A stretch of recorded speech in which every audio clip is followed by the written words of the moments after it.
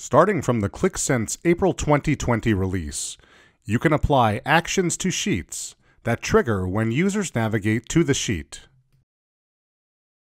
Sheet actions are useful when you want to assist app users with predefined selection or selection controls when they navigate to a sheet.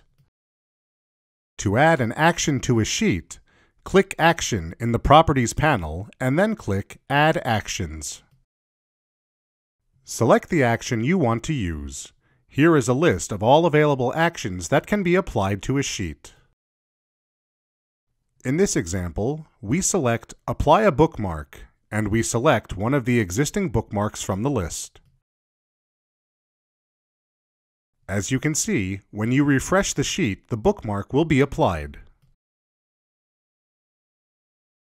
You can add multiple actions to a sheet. In this case, we are going to add the action Clear All Selections. This way, if the user makes selections during the analysis, the selections will be cleared when they navigate to this sheet. You can change the order of an action by dragging it.